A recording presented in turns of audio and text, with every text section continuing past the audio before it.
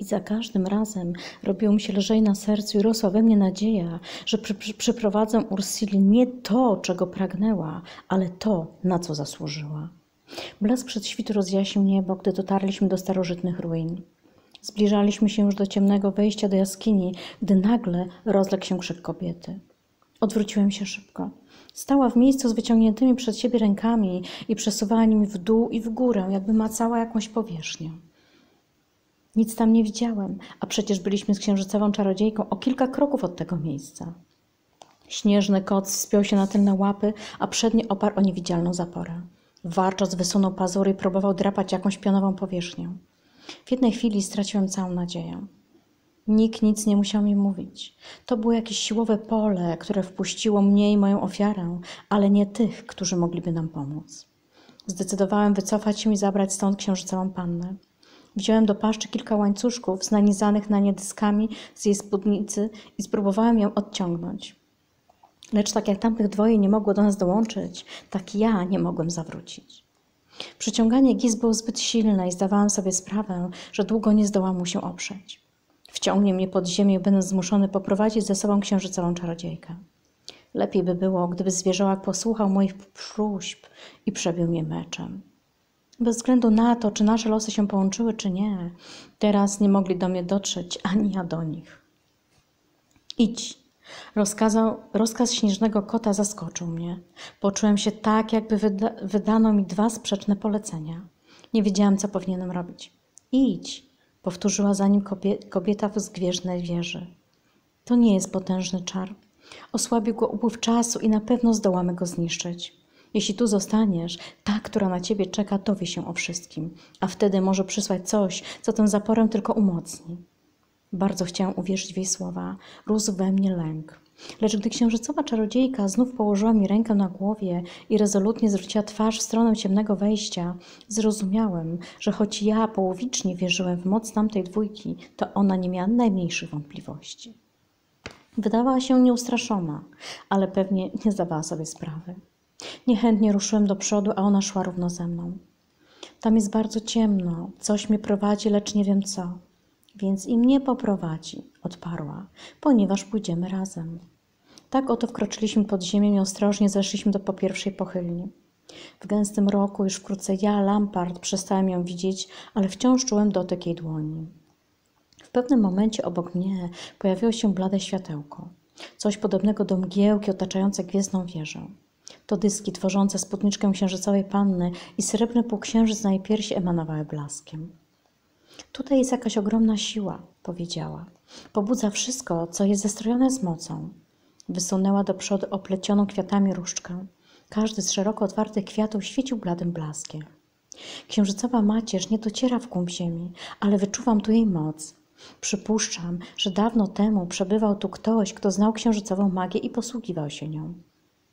Wcale nie była przestraszona i to mnie zaniepokoiło. Mój lęk o nią chciałem wyrazić głosem, zapominając, że mogę wydawać tylko gardłowe kocie pomruki. Musiała jednak odczytać moje myśli, bo spróbowała rozwiać moje obawy. Nie, Ketanie, nie przeczę, że ta twoja mądra kobieta zna się na czarach znacznie lepiej ode mnie. Nie wiem jednak, czy zdaje sobie sprawę, że ja też mogę przywołać siły, które są jej całkowicie obce. Otrzymałam bowiem dobre wykształcenie. Jeszcze nawet dobrze nie umiałam mówić, a już potrafiłam zaglądać do ludzkich umysłów. Moja matka, wróżąc z ognia i wody, dowiedziała się, że mam magiczny talent, w dodatku odmienny od jej własnego. Nie dziw się temu, albowiem moja matka jest czarownicą zielonej drogi, a mój ojciec był niegdyś jeźdźcem zwierzołakiem. Powiedziała to tak dumnie, jakby recytowała listę spokrewnionych z nią bohaterów. Moja matka, wiedząc, że będę władczynią mocy, zabrała mnie do świątyni Niwe. Jej kapłanki oceniły moje zdolności i orzekły, że będę księżycową czarodziejką. Kiedy nieco podrosłam, udałam się do Linarku i wiele tam się nauczyłam. Jeszcze więcej nauczyłam się od moich rodziców po powrocie do Riv. Dawno temu w Riv uprawiano księżycową magię i co nieco z niej pozostało, kiedy moi rodzice odkryli wieżę i zamieszkali w niej. Mówiła z żywieniem, tak swobodnie, jakby rozmawiała z przyjacielem na przechadzce wśród pól. A przecież coraz głębiej schodziliśmy pod ziemię, a naszym celem było stawić czoło mocy, która przewyższało wszystko, z czym zetknęli się ludzie mojej rasy. Nie pomyliłem się, przypuszczając, że śnieżny kot był niegdyś jeźdźcem zwierzołakiem. Ale dlaczego nie mieszkał w szarych wieżach? Moja matka, ciągnęła idąca obok mnie dziewczyna, może znów czytając pytanie w moich myślach. Była małżonką z krainy Dolin. Czy nie słyszałeś tej opowieści Ketanie? Jest tak znana, że tkacze pieśni już umieścili ją w kronikach Arwonu. Tak, słyszałem. Jestcy zwierzołacy znaleźli się wśród banitów, kiedy dobiegła końca wojna siedmiu wielmożów. Skazanych na wygnanie i mieli wędrować do Puty, dopóki w układach gwiazd nie zajdą pewne zmiany. Dopiero wtedy mogli prosić, by pozwolono im wrócić do ojczyzny. Wyruszyli na południe do krainy Dolin. Po jakimś czasie wybuchła tam wojna między ludźmi, a stało się to na długo przed moim urodzeniem. Wówczas zawarli układ z mieszkańcami krainy Dolin, tymi, którzy zajęli opuszczone ziemie. Walczyli u ich boku i wyparli na jeźdźców do morza albo je wybili. Za swoje usługi jeźdźcy zwierzołacy wyznaczyli cenę. Po zwycięstwie mieli otrzymać od wielmożów z Hajhalaku dziewczyny z ich rodu. I oto w roku jednorożca na skraj ziem spustoszonych przywieziono trzynaście panien. Wybrały one sobie mężów spośród jeźdźców, razem z nimi przybyły do Arwonu i zamieszkały w szarych wieżach. Nie wiedziałem jednak, iż była wśród nich jakaś czarownica. Oni nie mieli pojęcia, że w żyłach, mojej matki płynie krew czarownic za morza. Gdy była jeszcze dzieckiem, wzięto ją do niewoli. Żołnierze z Hajhalaku znaleźli ją na zdobytym nieprzyjacielskim statku jeden z wielmożów wziął ją na wychowanie. Nikt nie wiedział o jej wrodzonym czarodziejskim talencie, tylko jeźdźcy się zorientowali, zaniepokoili, gdyż nie chcieli mieć w swym gronie władczyni mocy. Próbowali ją zniszczyć, usunąć, a nawet zabić w zaświatach. Moi rodzice stoczyli tam jednak zwycięski bój i powrócili do swoich ciał, które tutaj zostawili. Lecz po tym, co zaszło, mój ojciec nie chciał dłużej przebywać w szarych zwierzach. To, co zrobili ze strachu jego pobratymcy, wzbudziło w nim gniew. A potem rodzice znaleźli Riff, a raczej im o tym miejscu powiedziano. W ten to sposób Gwiezdna Wieża stała się naszym domem. Zrobiliśmy z niej miejsce, w którym złączyły się zielona i brązowa magia. Twierdzę broniącą Arwonu przed mocami ciemności. Ale teraz w Arwonie znów jest niespokojnie. Mówi się o bramach, które mają się otworzyć i o powrocie banitów. Nie wszyscy z nich gotowi są zaakceptować pokój, tak jak jeźdźcy zwierzołacy. Ostatnio jeźdźcy do mojego ojca wysłali posłów ze słowami, iż zbliża się dzień, kiedy będą musieli bronić swojej ziemi. Mój ojciec jeszcze nie udzielił im ostatecznej odpowiedzi. Myślę, że więzy pokrewieństwa skłaniają go do ugody, a dawne urazy do odmowy. Zanim sam tego nie rozstrzygnie, nie powie, czy zrobi to, czy tamto. Lecz ja i moja matka przypuszczamy, że Gwiezdna Wieża wywarła większy wpływ niż tamte przykre wspomnienia. Wróżby pokazały, że Reeve zajmie w Arwonie ważne miejsce. Długo był zapomniany, a teraz żyje i rośnie w nim siła życia. Gdy tak słuchałem jej opowieści, prawie widziałam w tych absolutnych ciemnościach gwiezdną wieżę. Czułem zapach ziół rosnących w otaczających ją ogrodzie. Tak bardzo chciałam znów tam się znaleźć, że to pragnienie sprawiło mi ból. Była jak otwarta rana. Tak, powiedziała po chwili milczenia. Zrozumiałam, że wyczuła moją tęsknotę. Riff jest jak ciepła, opiekuńcza dłoń, która się wokół ciebie zamyka, lecz przetrwanie zapewnia jej to, co razem robimy. A ja? Cóż ja najlepszego robię? Poczułem dłości. Po raz nie wiem już, który usiłowałem powstrzymać swój bieg, pokonać gis nałożony przez Ursilę. Nie, nie wezmę udziału w tej wstrętnej grze. Nie chcę, żeby uczestniczyła w niej księżycowa czarodziejka. Warczałem i prychałem. Moje kończyny nie reagowały na rozkazy Ketana. Nie mogły, przecież Lampard był tworem Ursilli. Drżałem cały. Księżycowa panna znów położyła mi dłoń na głowie. Nie byłem w stanie rozproszyć jej wątpliwości, a ona tak starała się mnie uspokoić. Może nie rozumiała, dokąd ją prowadziłem i co tam na nią czeka. Ketanie, odezwała się z taką powagą, jakby śpiewała jakąś czarodziejską pieśń. Mam na imię Eileen. Moja matka nazywa się Gillian, a mój ojciec Herel. Dopiero po dłuższej chwili dotarło do mnie znaczenie jej słów. Wyznając mi własne i rodziców imiona, przyznała poniekąd, że łączy nas pewne pokrewieństwo. Imię bowiem jest rdzeniem człowieka, zwłaszcza wtedy, gdy w grę wchodzą sprawy mocy. I powierzając komuś ten sekret, okazuje mu się pełne zaufanie. Nie powinnaś była tego robić, zaprotestowałem w myśli, ale zrobiłam. W jej głosie zabrzmiał stłumiony śmiech. Nie straszny chichot triumfujący Ursili, ale wesoła, przyjazna nuta. Dźwięk ten ogrzał mnie lepiej niż najgorętszy płomień. Wielu mieszkańców Cardo Brown było moimi kuzynami, ale nikogo z nich nie mógłbym nazwać przyjacielem. A mieszkańcy Gwiezdnej Wieży stali mi się tak bliscy jak towarzysze broni, których połączyło braterstwo dusz. To długa droga. Zauważyła Aileen nieco onieśmielona, jakby już nie chciała mówić o tak osobistych sprawach. Tak, i nie wiem jak długo, odpowiedziałam. Kiedy opowiadałam o sobie, nie zwracałam uwagi na przytłaczający mrok, który nas otulił, jakby chciał udusić w swych ciężkich fałdach. Żałowałam, że wychodząc stąd nie policzyłem pochylnin. Wiedziałbym teraz, ile jeszcze ich mamy przed sobą. Lecz wówczas kierowała mną tylko jedna myśl dotrzeć tam, dokąd wysłała mnie Ursula. Wciąż w dół. Spódniczka i wisior Eileen nadal promieniowały jasnością, ale ten blask nie rozpraszał mroku. W tym jednak miejscu nawet to słabe światło dodawało otuchy istotom zrodzonym, by żyć w blasku słońca, a nie w głębi ziemi. Wreszcie poczułem pod łapami kamienne podłoże. Skręciłem w lewo, kierując się ku środkowi gigantycznej pieczary. Byłem przekonany, że właśnie tam znajduje się krąg kamiennych postaci. Po chwili zamigotała w oddali blada iskierka. Niewidzialna nić, która sprowadziła mnie z powrotem pod ziemię, napięła się i szarpnęła mną. Pomyślałem, że Ursula dowiedziała się o naszym przybyciu i ostrzegłem swoją towarzyszkę. Ona już wie, odrzekła spokojnie Eileen. Już szykuje się na spotkanie. Nie wie tylko Ketanie, że Gillan i Herel rozerwali zaporę siłową i idą za nami. Skąd o tym wiedziała? Ketanie, już wielokroć stapialiśmy się w jedno serce, jeden umysł podczas obrzędów związanych z mocą. Każda cząstka ma świadomość, że całość jest w pobliżu. Znów usłyszałem cichy śmiech. Nie do końca pojąłem te słowa, ale jej pewność dodała mi otuchy.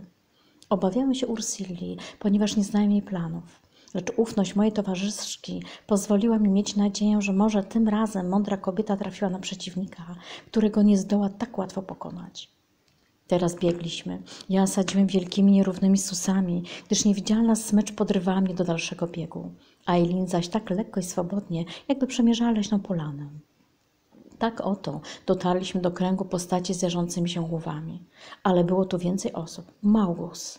Jak się tu przedostał? I pani Eldris. Mój kuzyn i moja babka stali nieruchomo jak wykuci z tego samego kamienia, co siedzące postaci. Małgus miał puste ręce, obnażony miecz leżał u jego stóp. Ursula czekała z uniesioną ku nam różką w postawie rybaka z wędką, który przyciąga złapaną rybę do brzegu. Eileen pozostała w tyle. Obejrzałem się i w blasku świecących kloszy zobaczyłem jej twarz. Była spokojna i nieruchoma. Jeszcze jedna nic nie wyrażająca maska. Żyły tylko oczy. Jej opleciona kwiatami różdżka leżała w zgięciu ręki, jakby była zerwaną po drodze wiązanką kwiatów o długich łodyżkach. Jeżeli Ursula sądzi, że księżycowa czarodziejka istotnie stała się częścią jej połowu, może ją spotkać niespodzianka. Witaj, Ketanie, przerwała milczenie Ursula. Dobrze się sprawiłeś, a ty?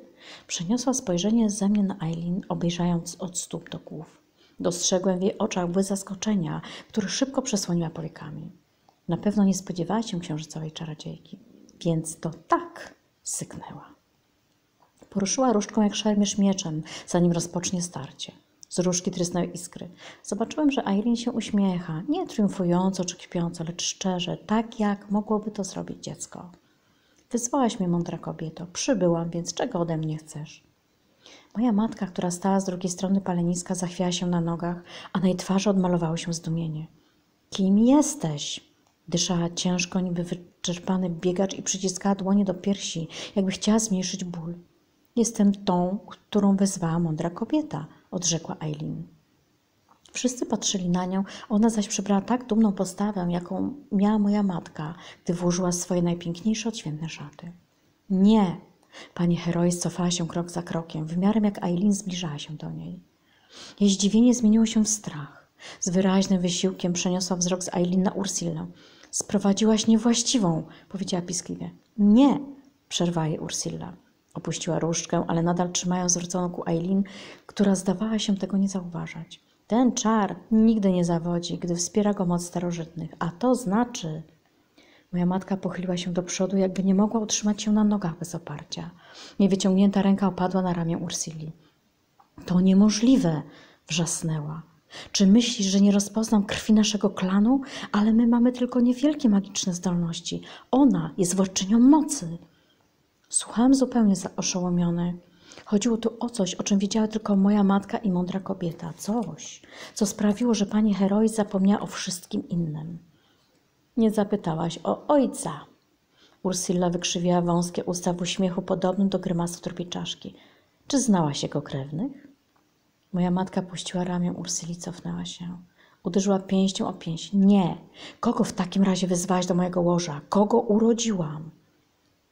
Ursilla zachichotała takim samym strasznym śmiechem, jak wtedy, gdy powiedziała, że Małgos pożałuje tego, co zrobił.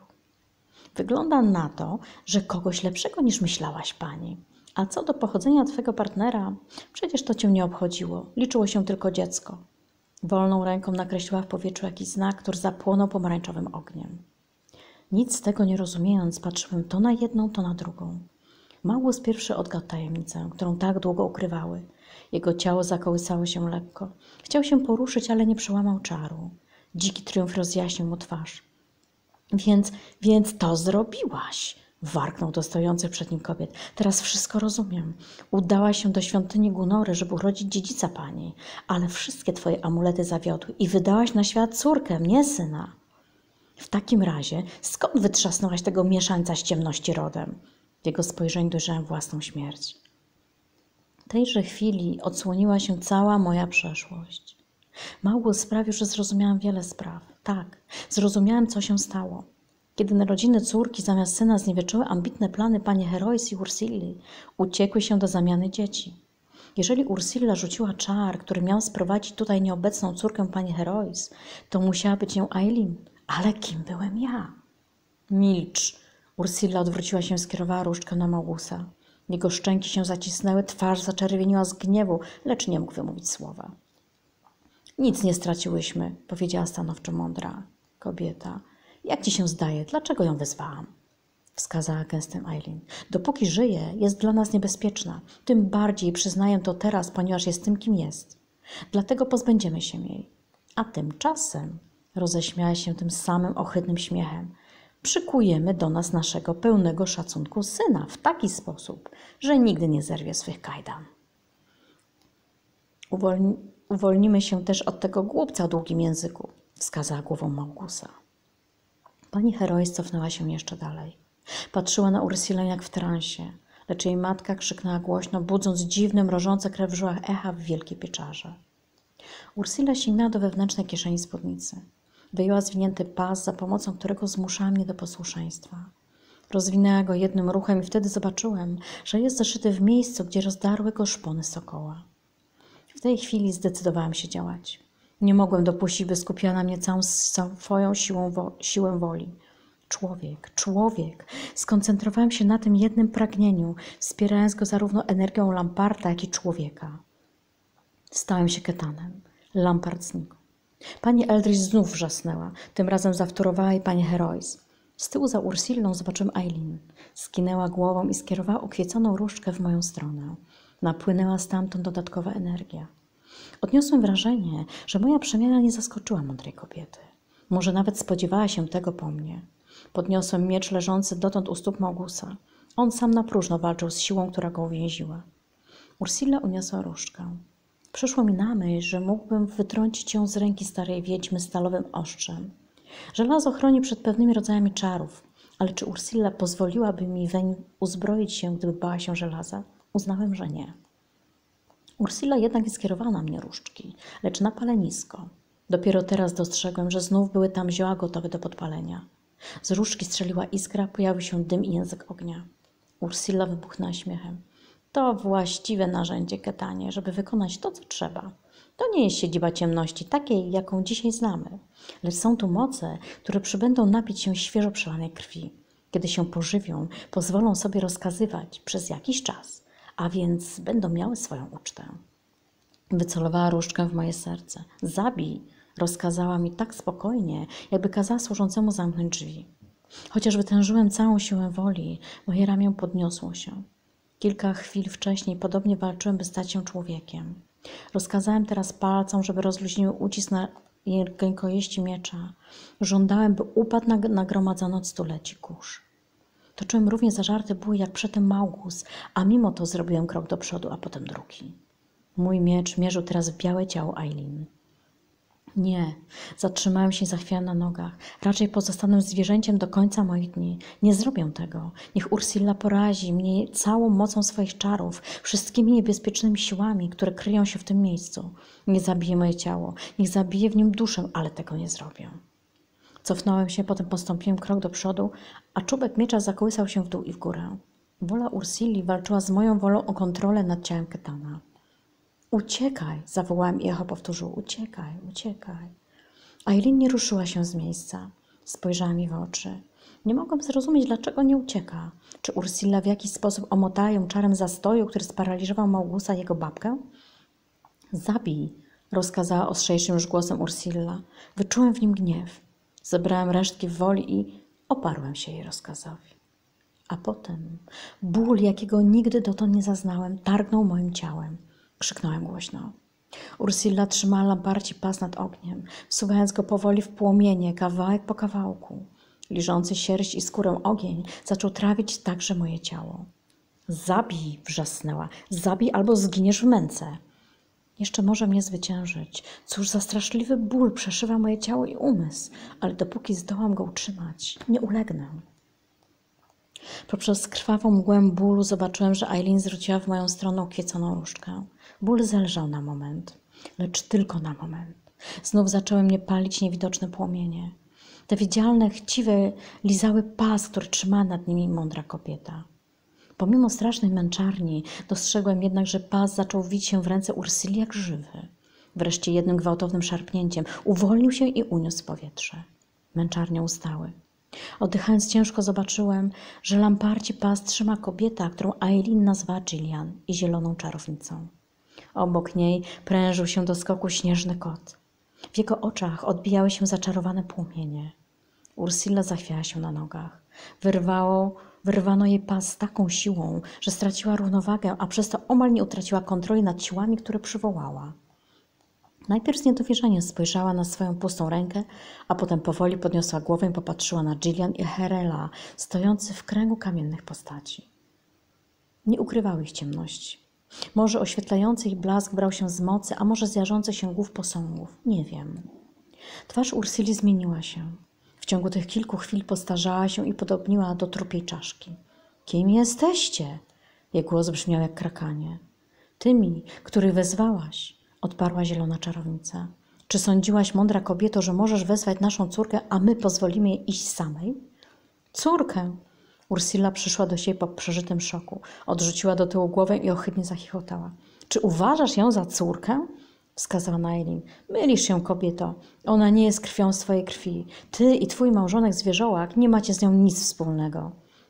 Jeśli chcesz zobaczyć dziecko, które naprawdę urodziłaś, to spójrz na tego durnia, wskazała palcem na mnie. Tak, słyszeliśmy. Gillian nie była zdziwiona. Rozmawiałyście szczerze, a my mamy uszy. Synu, przeniosła na mnie wzrok, zabierz to, co do ciebie należy. Rzuciła mi osmalony pas. Złapałem go z taką łatwością, jak przedtem moja prawdziwa matka i owinąłem, owinąłem się nim. Gładząc go teraz palcami, nie wyczułem najmniejszych śladów ognia. Ursula warknęła jak rozwścieczona bestia. Groźnie podniosła do góry różdżkę, lecz ja już zdążyłem zapiąć cyrkonową klaurę. W prawej ręce trzymałem miecz. Spojrzałem na Eileen. Jakie wrażenie wywarło na niej wydobycie na światło dzienne prawdy. Przecież tworzyła jedność Gillan i Herelem. Ku memu zdziwieniu między nimi nic się nie zmieniło. Uświadomiłem to sobie, gdy wyczułem łączącą ich moc. Może nie była ich córką w swej cielesności, lecz pozostała dzieckiem ich serc i umysłów. Aileen nie okazywała zaskoczenia. Zachowała spokój jak człowiek, który dobrze wie, kim jest i gdzie jest jego miejsce. Czy sądziłaś, mądra kobieto, że można odwiedzić świątynię Niwę i nie wynieść stamtąd wiedzę, co chciano kiedyś ukryć? To tam wszystko wyszło na jaw. Aileen jest naszą córką z woli tych, którzy są znacznie od nas potężniejsi, mówiła Gillan. Kiedy spojrzałem na zieloną czarownicę, która była moją matką, na mojego ojca zwierzołaka i na Aileen, ich przybrane dziecko, wtedy zrozumiałem, dlaczego wybrano właśnie ją. Poczułem pustkę w sercu. Samotność, którą znałem przez całe życie, dopiero teraz ujawniała swą prawdziwą istotę. Nie byłem dziedzicem Kardoprał. Małgłos otrzyma to, czego zawsze pragnął. A ponieważ prawda wyszła na jaw, przestanę być narzędziem Ursili. Byłem bardzo samotny i nie miałem nikogo bliskiego. Popełniłem błąd, zagłębiając się w sobie. Ursilla bowiem niespodziewanie zaatakowała. Podniosła błyskawicznie różdżkę, skierowała na Eileen. Z różdżki strzeliły płomienie, otoczyły księżycową czarodziejkę i ukryły przed moim wzrokiem. Spoza zasłony ognia dobiegł mnie krzyk. Skoczyłem bez namysłu w płomienie. Owinęły się wokół mnie i przez chwilę czułem przeraźliwy ból. Znalazłem się przy Eileen i objąłem ją. Oboje staliśmy w kręgu płomieni, które przybrały śmiercionośną barwę, purpurem ciemności. Nie mogliśmy się już cofać. Plecami oparliśmy się o sztywne kolana siedzącego posągu, a ruchliwa purpurowa ściana podpełzała coraz bliżej. Księżycowa czarodziejka tuliła do piersi ukwieconą różdżkę. Stała niema, ale jej ciało pulsowało rytmem jakiejś pieśni. Teraz ja spróbowałem się odwdzięczyć i dodać jej własnych sił, by mogła osiągnąć swój cel. Upuściłem niepotrzebny miecz, objąłem Aileen w pasie i podrzuciłem na kolana kamiennej postaci poza zasięg ognia. Gillan i Herel może zdołają odeprzeć atak mądrej kobiety, nim ogień dotrze i tam. Poprzez szalejące płomienie widziałam całą trójkę. Ursilla pracowała gorączkowo. Nakreśliła różdżką krąg, zamykając w nim siebie i kamienne palenisko. Wyjęła coś z zapazuchy i wrzuciła do ognia. Buchnął dym, który całkowicie mi ją zasłonił. Słyszałem jej śpiew, syczące, niewyraźne słowa, które miały obudzić nieznaną magię tego miejsca. Zaśpiew ucichł i wtedy rozległ się przenikliwy dźwięk kościanego gwizdka, gorączkowy zew. Ketanie, chodź tu! To był głos Eileen. Siedziała skulona w swoim dziwnym schronieniu i wyciągała ku mnie ręce. Ale dla mnie nie starczałoby tam miejsca. Duszące wyziewy purpurowych płomieni zaparły mi dech w piersi. Zakrztusiłem się, ogarnęły mi mdłości. Zdawało mi się, że całe zło świata skupiło się we wstrętnych oparach. Do góry! Irene chwyciła mnie za ramię i paznokcie pozostawiły czerwone pręgi na mojej skórze. Poczułem siłę jej woli. Pociągnęła mnie w taki sam sposób jak Gis Ursilli. Nie wiem jak, ale zdołałem się wspiąć i oboje skuliliśmy się na kolanach posągu. Okazało się, że to nie była postać trzymająca figurkę człowieka i zrobiło mi się lżej na sercu. Szponiasta dłoń posągu ściskała na wpół otwarty kwiat. Aileen przesunęła delikatnie palcami po kamiennych płatkach. Tak samo dotykała swoich księżycowych kwiatów. Już nie śpiewała przywołując moc. Milczała i zdawało się, że na coś czeka. Ochronny krąg Ursili dotknął podstawy posągu z człowiekiem w ręce. Gęste kłęby dymu zawirowały wokół siedzącej postaci i samej Ursili. Oczekiwałem, że to samo się stanie z pozostałymi posągami, ale dym nie sięgnął dalej. Ponad szarą zasłoną mgliście widzieliśmy rozjażony klosz głowy. Kolory wewnątrz poruszały się coraz szybciej i ciemniały. Wzniecone przez mądrą kobietę płomienie dopełzły już do stóp statui, na której się schroniliśmy. Wydawało mi się, że ten ogień płonął gniewem, jeśli można tak powiedzieć o ogniu. Usiłował się wznieść jak najwyżej, starał się do nas dotrzeć, lecz nawet najwyższe płomienie sięgały poniżej nas. Przez chwilę, nie wiem jak długo to trwało, wydawało mi się, że jesteśmy bezpieczni. Spojrzałem poza płomienny krąg. Ursilę wciąż skrywała szara, dymna zasłona. Trójka mieszkańców Cardo Brown tuliła się do siebie, patrząc szeroko otwartymi ze strachu oczami. Czar, który mądra kobieta rzuciła na Małgusa, powoli tracił siłę. Pani Eldris przywarła do niego. Małgus zdołał uwolnić ramię i podniósł je ponad nią obronnym gestem. Tuż przy ich nogach przykucnęła z tyłu pani Herois. Cała jej arogancja zniknęła. Przestała już nawet płakać, była blada i wystraszona. Nie odrywała wzroku od chmury dymu spowijającej mądrą kobietę. To na niej skupiała się cała uwaga. Żadne nie zainteresowało się nami, ani spojrzało na nas ponad purpurową obręczą ognia. I mieli ku temu rzeczywiście ważne powody. Nawet najniewrażliwsza istota, pozbawiona krzty magicznych zdolności, wyczułaby obecność sił gromadzących się w tej dawno zapomnianej świątyni, jeżeli była to świątynia. Ursilla bowiem otwierała jakąś bramę. Aileen zwróciła ku mnie twarz, gdy tylko ta myśl przyszła mi do głowy. Wyczytałem zdumienie w jej oczach. My, którzy urodziliśmy się po wielkiej walce między mocami szalejącymi w Arwonie, tylko z legend znaliśmy tamte odległe czasy. Mieliśmy kroniki, które często wspominały o bramach i o tym, co można przez nie przywołać. Znacznie trudniejsze było wypędzenie takich niesamowitych przybyszów przez te przejścia w powłoce naszego świata. Ale w żadnej z tych opowieści nie mówiono otwarcie o naturze samych bram, o kluczach, które je otwierały, ani o tym, gdzie mogą się znajdować. Była to zakazana część wiedzy i stronili od niej wszyscy władcy mocy. A może teraz strącili się słudzy ciemności? Zawsze tylko z wielką trudnością utrzymywano w ryzach jej wielkich adeptów. Pomyślałem, że to oczywiste, że w takim miejscu znajduje się jedna z bram. A skoro Ursula otworzyła ją w swym szaleństwie, wolałem o tym nie myśleć. Gdzie byli pozostali mieszkańcy Gwiezdnej Wieży? Najpierw oszołomiony niebezpieczeństwem zagrażającym Eileen, potem czarami mądrej kobiety, prawie o niej zapomniałem. Teraz zmieniłem pozycję w naszym ciasnym schronieniu, usiłując coś dojrzeć. Zasłaniała ich jednak bryła posągu, za którym się ulokowaliśmy. Eileen zacisnęła rękę na mojej dłoni. Jej ukwiecona różdżka drgnęła i zwróciła się w stronę kwiatu w ręce posągu. Księżycowa panna ostrożnie ją przechyliła i czubkiem dotknęła samego serca kamiennego symbolu. Daj, powiedziała tak cicho, że tylko ja usłyszałam jej słowa. Daj mi wszystko, co możesz dać, kuzynie. Całą swoją uwagę skupiła na kwiecie i czubku różdżki. Po chwili pojąłem, że stała się kanałem dla siły, częściowo przywołanej, częściowo zaś zaczerpniętej ode mnie. I mimo, że brakowało mi doświadczenia i praktyki, starałem się przekazać jej całą swoją siłę. Byłem tak tym pochłonięty, że mój świat zawęził się do punktu, w którym różka stykała się z rzeźbą. Czułem, jak wypływa ze mnie energia, jak Eileen ją przechwytuje, oczyszcza, wzmacnia, przeplata z tym, co sama mogła dać. Dopiero wtedy uszlachetniona moc spływała w dół tej różdżki. Oplatające pręd księżycowe kwiaty zaświeciły czystym, białym blaskiem ponad ponurą purpurą płomieni, które wciąż usiłowały nas dosięgnąć. Różdżka zamieniła się w snop księżycowej poświaty tak jasnej, że poraziła moje oczy. Aileen nadal czerpała ode mnie energię, ja zaś dawałam ją dobrowolnie, nie myśląc nawet o przyszłych tego kosztach. Teraz w punkcie, którego dotykała różdżka, pojawił się blady ogień. Zaczął rosnąć, rozjarzył się i rozszerzył, a kamienne płatki upodobniły się do płatków księżycowych kwiatów. Miałem wrażenie, że to siła naszego pragnienia zmieniła martwą rzeźbę w żywą roślinę. Mimo głębokiej koncentracji niejasno wyczuwałem jeszcze coś. W postaci, na kolanach której się schroniliśmy, zachodziła jakaś zmiana. Okryte płaszczem ciało zaczęło pulsować. Nie było to drżenie oddechu czy bicie serca, ale podobne. Nie odważyłem się o tym myśleć. Najważniejsze teraz było to, co robi Eileen. Wysiłkiem woli przegnałem wszelkie domysły na temat dziwnej przemiany. Kamienny kwiat rozjarzył się srebrnym blaskiem. Z płatków strzelały wąskie, świetlne spirale, aż w końcu wokół rzeźby uformował się w powietrzu znacznie od niej większy i wspanialszy kwiat. Kamienne płatki rozwarły się szeroko, jak pąki w południe ciepłego dnia, a ich promienne repliki, początkowo skulone wokół serca kwiatu, też się rozchyliły. Ze środka rozjarzonej rzeźby wynurzyła się stróżka srebrnego blasku, za nią druga i trzecia – Wiele razy widziałam, jak polne kwiaty po przekwitnięciu zrzucały nasiona z kitkami ułatwiającymi im podróż na skrzydłach wiatru.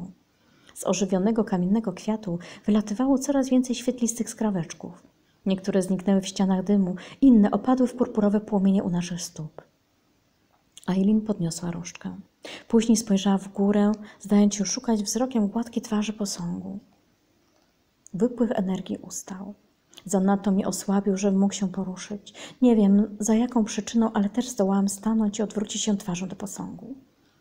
W świecącym owalu trwało nieprzerwanie falowane i przemiany uwięzionych w nim kolorów.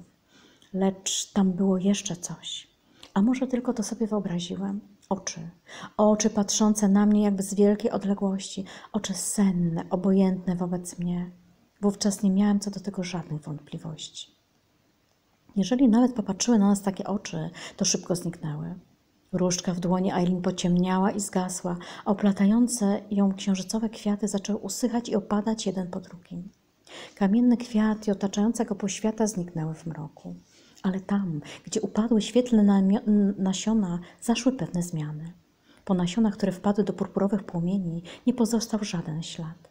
Jedynym skutkiem jej działania było to, że w tych miejscach ogień zgasł, pozostawiając przejścia, których nie zdołały zamknąć ocalałe języki ognia. Inne nasiona przebiły w ścianie dymu duże otwory. Przez nie mogliśmy widzieć, co się stało, kiedy Ursula wezwała wszystko, co tylko mogła, aby służyło jej tu i teraz. Widziałam, jak Gillan i Harry podchodzą do jednej z tych wyrw. Śnieżny kot przypadł do ziemi, prężąc się do skoku.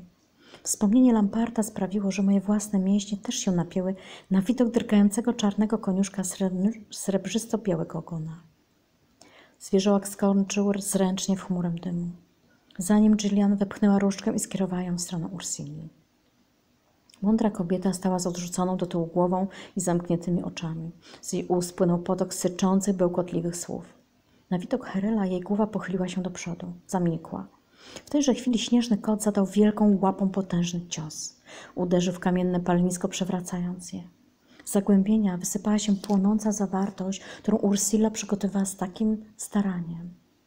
Rozrzucony żar gaz szybko zamieniał się w popiół. Nie buchnął już nowy kłom dymu, a wisząca w powietrzu chmura zaczęła się rozpraszać. Nagle okrzyk wydarł mi się z piersi, a zawtórowały mu inne ochrypłe krzyki. Siedząca kamienna postać w pobliżu Ursuli poruszyła się. Figurka człowieka wypadła ze szponiastej ręki, odrzucona na bok jak coś, co utraciło wszelką wartość. Później szpony zawisły nad śnieżnym kotem i zaczęły się zamykać. Rozległ się wyzywający ryk zwierzołaka. Z ust Ursuli wykrzywiony w grymasie wydobywały się nieludzkie dźwięki. Mądra kobieta zamachnęła się na śnieżnego kota, który cofnął się przed jej różdżką. Zagnała go pod powoli opuszczającą się kamienną rękę. Byłem przerażony. Skulona obok mnie Eileen coś krzyczała. Nie mogłem zrozumieć, o co jej chodzi. Nagle wiedziałem, co trzeba zrobić. Listek na czubku różdżki Gillan zadrżał. Później obdarta skory gałązka zakołysała się tam i z powrotem. Twarz zielonej czarownicy ściągnął strach. Bała się o Herela. A potem, nie wiem jak zszedłem z kolan posągu, ale znalazłem się na kamiennej posadzce. Podniosłem upuszczony miecz. Ściskając go w dłoni, ruszyłem do przodu chwiejnym krokiem, wysiłkiem woli zmuszając do posłuszeństwa osłabione ciało. Śnieżny kot zdołał się wymknąć kamiennym szponą i bez trudu przeskoczył przez otwór w szarej zasłonie, który zamknął się tuż za nim. Nie miałem czasu na poszukiwanie innego wejścia, zresztą zabrakłoby mi sił na przeskoczenie go. Dysponowałem tylko mieczem, a już rzekłem, że dla pewnych rodzajów czarów żelazo śmiertelnie niebezpieczne. Nie wiem skąd wziąłem siłę, ale uniosłem brzeszczot na wysokość ramienia i cisnąłem nim jak włócznią. Przeleciał przez otwór zasłonie dymnej. Jednak żelazny pocisk nie przeszył Ursuli. Źle wycelowałem i za słabo rzuciłem. Czubek miecza tylko uderzył lekko w jej różdżkę. Oślepił mnie nagły błysk. Zasłoniłem oczy ręką. Nie udało mi się. Poczułem ogromne rozczarowanie, wręcz zalała mnie rozpacz. Ketanie! Aileen oparła mi na ramionach ręce. Poznałem jej dotknięcie, ale wciąż nic nie widziałem. Zamrugałem oczami. Przed sobą miałam tylko mieniącą się kolorami mgiełkę. W tej tęczowej mgiełce kroczyło na czterech łapach jakieś zwierzę. Śnieżny kot. Gillan dołączyła do nas w tej samej chwili, kiedy Herel zbliżył się do nas. Przetarłem oczy, by usunąć mgłę przesłaniającą mi wzrok. Nie wiadomo skąd powiał wiatr i rozproszył resztę dymu. Mądra kobieta przycupnęła stóp posągu, który odpowiedział na jej wezwanie. Przed nią leżał miecz o poczerniałym na poły stopionym ostrzu. Nigdzie nie widziałam różdżki. Ośrodkiem huraganowego wiru stała się Ursilla. Przypadła do ziemi, pragnąc uchronić się przed jego smagnięciami. Zniknęła. Na kamiennej posadzce pozostał tylko czepiec i splątane szaty. Mądra kobieta zniknęła. Nad miejscem, w którym przedtem się kuliła, zawisła szponiasta ręka sięgająca po nową zabawkę. Uciekła. Głos Gillan dotarł do mnie poprzez wycie niesamowitej wichury. Kiedy jej moc została zniszczona, koniec z nią. Niech się tak stanie. Rozległ się czyjś głos. Znałem go. Małgus zostawił przerażone kobiety i podszedł do nas. Patrzył błędnym wzrokiem. Jeżeli zamierzasz wziąć Cardo Brown, zaczął, jak gdyby wszystko, co tu się wydarzyło, nie miało dla niego żadnego znaczenia. Zwracał się do Eileen. Księżycowa czarodziejka roześmiała się. A po co mi twój zamek? Podeszła bliżej do Gillian. Nie potrzebuję żadnego spadku, mam swoje własne miejsce. A ty? Małgłos odwrócił się do mnie. Ty nie masz do niego żadnych praw i wcale go nie chcę, odpowiedziałam. Czułem straszliwe zmęczenie. Kardo Brown jest twój, Małgusie. Teraz nikt nie będzie kwestionował twoich praw. Przyjrzał mi się z powątpiewaniem. Pewnie nie mógł uwierzyć, że nie będę walczył o zamek. Na moim miejscu z pewnością by to zrobił. Ale dla mnie Cardo Brown wydawał się równie daleki jak gwiazda i zupełnie go nie pragnąłem. Tak, pani Czumagusie, Cardo Brown jest twój. Wszyscy odwróciliśmy się jednocześnie. Za kręgiem posągów ktoś stał. Potem szybkim krokiem wszedł w wyspę gasnącego blasku. Mijając miejsce, w którym jeszcze tańczyło kilka purpurowych języków ognia, machnął ręką. Płomienie zniknęły. I bajkus. Byłem skrajnie wyczerpany i nie chciało mi się nawet zastanawiać, co w tej godzinie sprowadziło tutaj kupca. Ukłonił się i rzekł: Właśnie, Ketanie. Widzę, że bardzo dobrze wykorzystałeś otrzymany dar. Dotknąłem pasa. Jakaś cząstka mojej istoty pragnęła zedrzeć go i wyrzucić, jednak jakaś inna nie godziła się na to. W razie potrzeby znów będę mógł stać się zwierzęciem, ale odtąd Ketan zawsze będzie kontrolował Lamparta. Skinął głową. Zrozumiałem, że czytał moje myśli tak łatwo, jakby były runicznym zapisem. To prawda, dodał. Po czym odwrócił głowę i spojrzał na Gillan i stojącego za nią Herela, który ponownie przybrał ludzką postać. Oboje nagle wykonali jednocześnie pełen szacunku gest. Kiedyś widziałem, jak pan na zamku witał w ten sposób wysłannika głosów mocy. Uważasz pewnie, że spłataliśmy wam kilka złośliwych figli, pani? I Bajkus zapytał Gillan. Myślę, że raczej chodziło o to, by uczestnicy waszej gry nie rozumieli jej znaczenia, odparła z wahaniem. Masz całkowitą rację. Ursilla chciała dostarczyć dziedzica panie Herois, która stała się jej narzędziem. O tych wysiłkach dowiedział się jeden z tych, których zdaniem jest utrzymanie równowagi sił w Arwonie. Wykorzystaliśmy więc ambicję Ursilli, żeby zahartować przyszłych bojowników słusznej sprawy. Przy tobie, pani Gillan, Aileen stała się taka, jaką być powinna. W Cardo Brown, gdyby Ursula nie prowadziła własnej gry, ta panna nigdy nie poznałaby dogłębnie swych magicznych zdolności. A tymczasem Ketan uśmiechnął się do mnie. Został poddany próbie, tak jak świeżo wykuty miecz i udowodnił, że jest dostatecznie silny. A co do ostatniej przygody, wy czworo utkaliście coś, co przetrwa niejedną burzę. I Bajkus zamilkł na chwilę i wtedy przemówił Herel. Twoje słowa roją się od zamaskowanych aluzji, wysłanniku. Czy jeszcze raz będziemy musieli stanąć do walki? Tyle wyczytaliśmy w przeszłości, ale nasza wiedza w tym zakresie jest ograniczona. Twoi kuzyni zwierzołacy wraz ze swymi małżonkami z krain dolin stworzyli nową rasę. Tych dwoje, wskazał na Aileen, później zaś na mnie, również się do niej zalicza. Powiedziano nam, że ma to wielkie znaczenie i że z czasem dowiemy się jakie. A teraz oparł ręce na biodrach i przyjrzał nam się po kolei. To nie jest miejsce dla mieszkańców Arwonu. Jest stare, naprawdę bardzo stare. I lepiej, żeby o nim zapomniano. Opuśćcie je. Wskazał szybko palcem na Maugusa, na panią Eldris i na Herois. Nie dowierzałem własnym oczom. Zniknęli. Potem objął nas wszystkich szerokim zamachem ramienia. Spadł na mnie chłód i mrok, a po chwili staliśmy w porannym słońcu. Troje mieszkańców Riv spoglądało na mnie ciepło, a ich spojrzenia grzały goręcej niż słońce. Witaj w domu, Ketanie, powiedział mój ojciec. Kiedy Aileen prowadziła mnie do ogrodu ziołowego, na dróżkę wiodącą prosto do drzwi gwiezdnej wieży.